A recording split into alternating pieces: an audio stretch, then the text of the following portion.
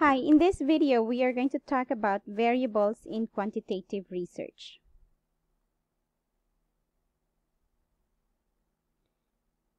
Right, so at the end of the lesson, you should be able to differentiate the kinds of variables used in quantitative research and their uses, and apply the different variable concepts in research appropriately.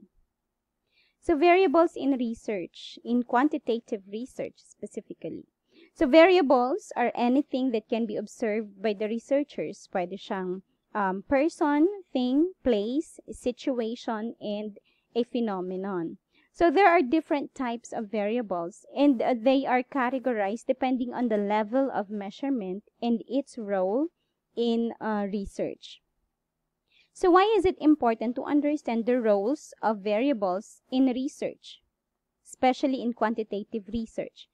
So it, of course, it is very much important to to know what type of variable it is or kung ano ba ang role niya uh, so that we'd be able to know what to observe in our research. What and where and and what specifically is the observation that we you know uh, the, the observation that we're going to make or apply in our in the conduct of our research study. So um, based on the roles of the variables in research, um, we have these different types of variables. So we have independent variable, dependent variable, mediating variable. We have the moderator variable or moderating variable. We have the extraneous variable. So again, it's based on the roles of variables in research. So when we say independent variable, it is also called the causal variable it, it causes it causes the change in another variable. So it is presumed to cause the change towards another variable which is known as the dependent variable or the outcome variable. The independent variable may influence another variable to change. And in experimental research, Independent variables may also be manipulated to examine the specific effect they may have toward the dependent variable. So when we say manipulated, um, ito, dito natin i-apply yung change. So yung sa dependent variable, um, mostly doon tayo um, maglalagay or uh, gagawa ng mga changes to see if that particular change na ginawa natin sa independent variable um, can affect the other variable, which is the dependent variable. So the dependent variables are the variables that are influenced by the independent variables. Okay, so sila yung maaapektuhan. So if it's in the cause and effect relationship, the independent variables are the, uh, the cause or is the cause and the dependent variable is the effect. Okay? Example, a researcher is determining the effects of self-motivation on the productivity of employees. So, the independent variable there is the self-motivation.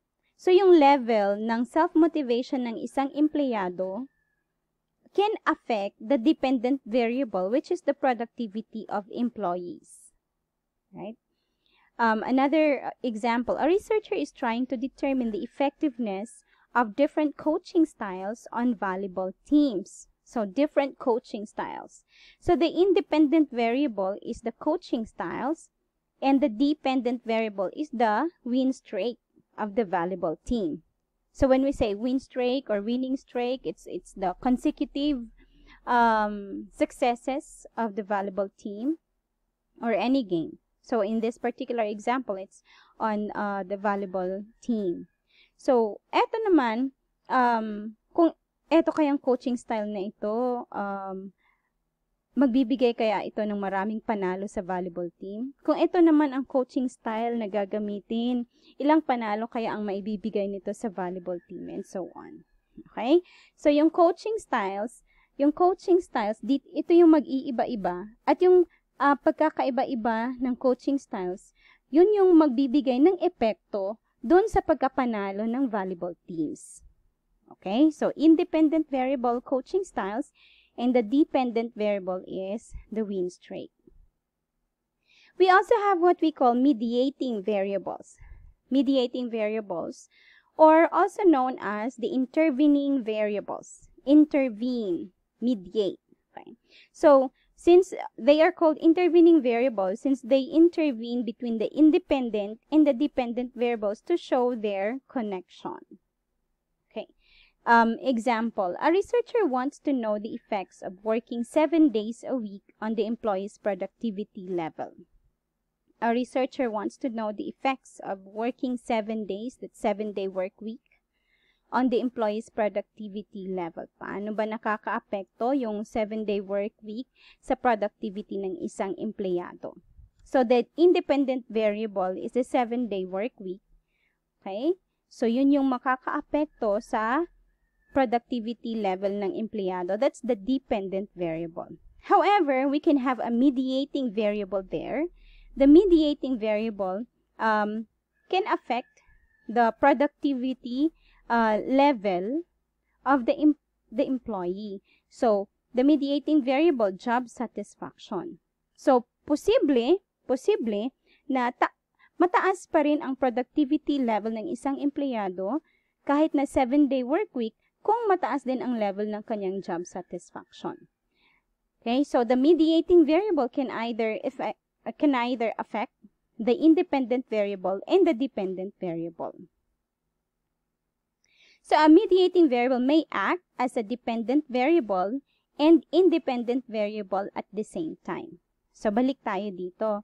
So etong mediating variable na job satisfaction, uh, pwede siyang maging um, independent variable. It can uh, independent variable at maapektuhan niya yung productivity level. So kung high level ang job satisfaction, pwedeng high level pa rin ang productivity ng isang empleyado kahit na 7-day work week. Okay? Or pwede rin siyang, it can act as a dependent variable din, maaapektuhan din ang job satisfaction by the 7-day work week. So, it can act as an independent variable at maaapektuhan niya ang productivity level or it can also act as a dependent variable, maaapektuhan siya ng 7-day work week. Okay, so that's mediating variable.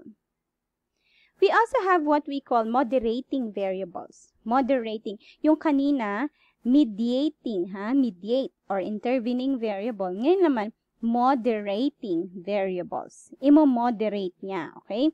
Moderating variables are variables that have a strong conditioned effect, which may modify the relationship between the independent and the dependent variables. So, pwede yung relationship ng independent at saka dependent variables, pwede niyang maapektuhan yung relationship nila. Okay? Pwede maapektuhan ng moderating variable. Example, a researcher wants to know the effects of exercising regularly on one's weight loss.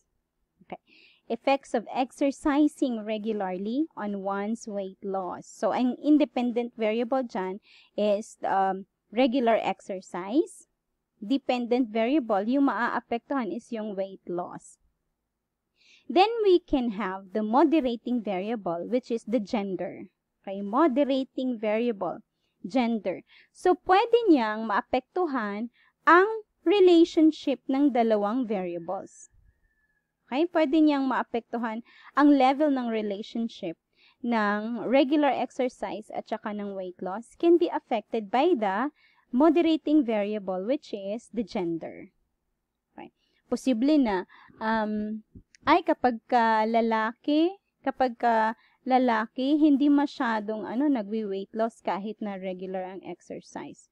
Or pwede ring, ay kapag ka lalaki, uh, mas uh, mas marami yung um, ano ba, weight loss kapag nagre-regular exercise. So, posibleng ganon. Okay?